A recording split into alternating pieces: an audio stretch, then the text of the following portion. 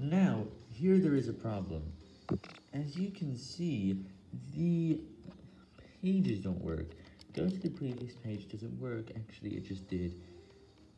But going past 21 to 30 of about 120 is not working. Going back will not work as well until you press it enough times.